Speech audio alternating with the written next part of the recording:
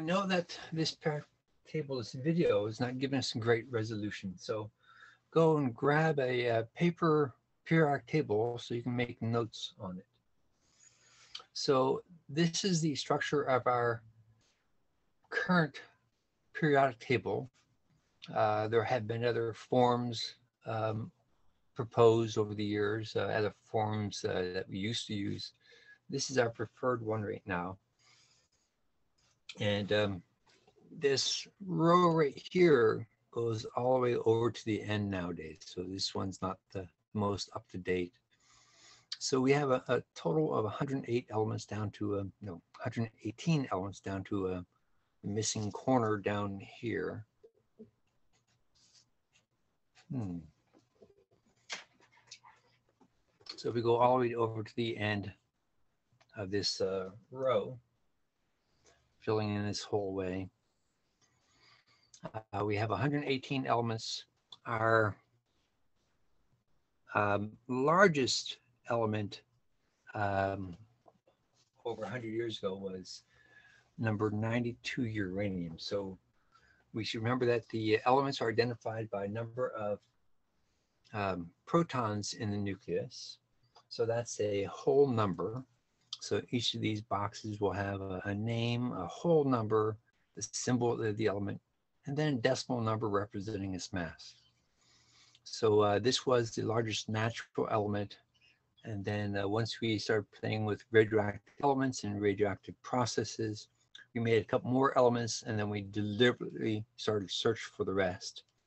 And we got our way from 92 up to 118 and we're still trying to get more. If we make any more, we're going to add another row to the periodic table. So uh, the numbers count across and then they uh, drop down. And then these two rows down here, they actually are stolen from this slice right here. So they're not supposed to be separate. Uh, they are just who pulled out to make the periodic table from getting too long. Um, and the modern periodic tables tend to uh, take these two elements and bring them down at the beginning of this two rows right here also. So we have groups and um, vertical columns and rows. The vertical columns are called groups. So our columns are groups and they're put together to share similar chemical properties. We have four columns, four groups that are named because of their drastic chemical properties. So uh, starting from the right side here, this blue one starts from helium, number two on top. Uh, and these are the noble gases. They're all gases because they're not reacting with any of the other compounds. So they are totally inert to chemical reactions. And that is column 18. So we have a total 18 columns. Don't give, give these two rows extra column numbers. So we have 18 columns. Uh, and that's our modern numbering system. We also have uh, the American system that uses A and B letters with numbers. Um, column 17 are the halogens. These are all, all extremely reactive nonmetals. So they're sharing the non-metal property, they're sharing it, they're extremely reactive. We use um, chlorine to disinfect drinking water in swimming pools. Sometimes we use bromine to clean out swimming pools. Sometimes we use iodine for backpacking or other purposes. On the far side of the periodic table, the column number two are the alkaline earth metals. Uh, these tend to be somewhat reactive, but not as reactive as the first column, the alkaline metals. Uh, so the first couple elements in um, column two, beryllium and magnesium, um, we can use them without them reacting with air or water. The heavier elements, calcium, strontium, etc., these will react with air and water. So we can't use them as metals. Uh, row column one, uh, not including the very top element hydrogen, but starting from lithium on down, These are the alkali metals. These, these are all, all very highly reactive.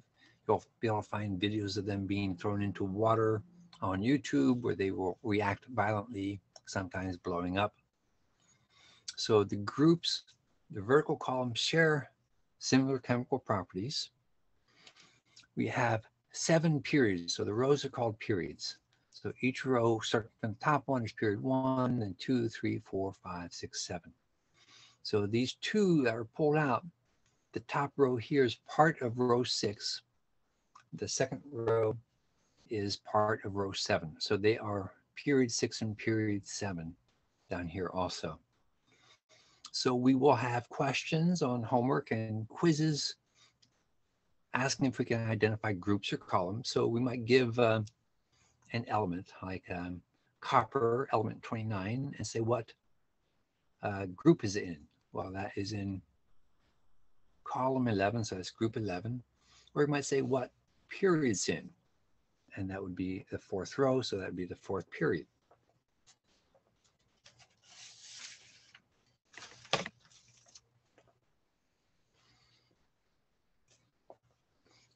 Okay, so the similar chemical properties is one of the main structures, reason for the structure of the periodic table here also. This is showing our rows again, showing that uh, no, each row is a different period. Uh, and then of the bottom two rows, the upper one is from period six and the bottom one is from period seven. The elements overall have a um, broad distinction of properties. So again, I apologize that the um, resolution is not great right here. Um, but the um, most of our elements, the lower left of the periodic table, are all metals. So the vast majority of our elements are metals. Uh, we'll give the properties of metals in a moment. Uh, the very first element, hydrogen, is a nonmetal. Then the upper right corner of the periodic table are nonmetals. We have a diagonal separating the metals from the nonmetals, and these are our metalloids or semimetals.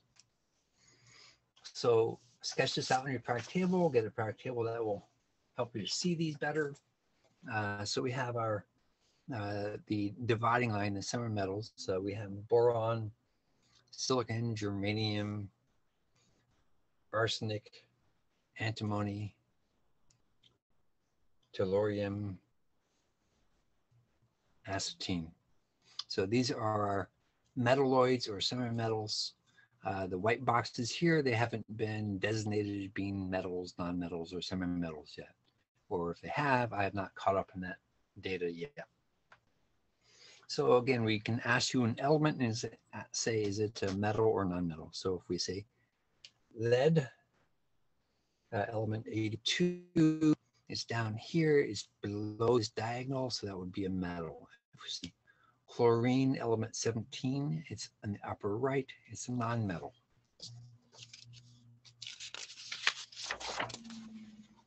So one of the defining features of metals is their electrical conductivity. So all metals are good electrical conductors. Um, and that uh, is a defining feature. Uh, it describes one of the internal properties of the atoms. Uh, metals uh, generally are malleable, uh, meaning if we hit them with a sledgehammer, they are more likely to bend instead of shatter. They're ductile, they can be pulled into a wire shape uh, they tend to have a, a, shiny surface, a lustrous surface. Now, sometimes they don't because sometimes the surface gets oxidized and it's no longer metal. It becomes a ion compound, a salt. But the surface is uh, pure metal, then tends to have that shiny surface.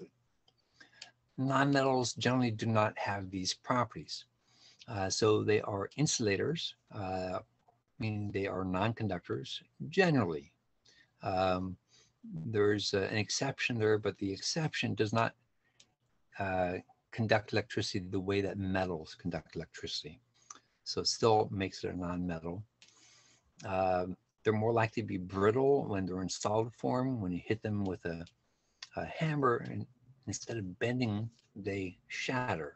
So that would be like diamond. If we hit a diamond too hard, the diamond will shatter and not just bend. And uh, generally, the the solids do not have that shiny, lustrous surface that metals do.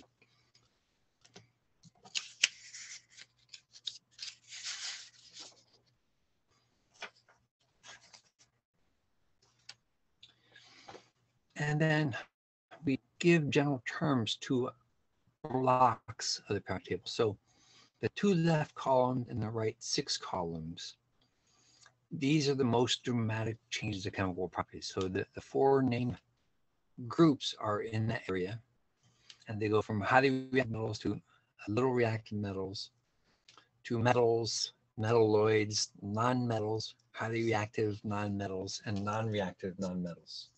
So they have a dramatic change. So this are our representative elements or main group elements. They represent the variation that we see in our elements. The middle block here, these are all metals.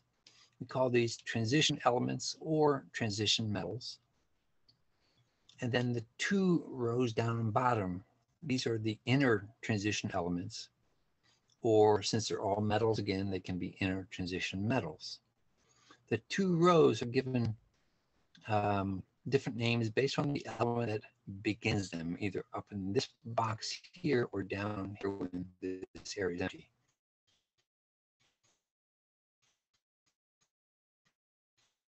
So the row in periodics is ethynes, and the row seven are the actinides. So again, we might give you a element like antimony asks what block it's in. It's a representative element, not a transition element or inner transition element. Uh, copper would be a transition metal, transition element. Um, um, plutonium down here would be an inner transition element. Um, in the bottom row, it would also be an actinide.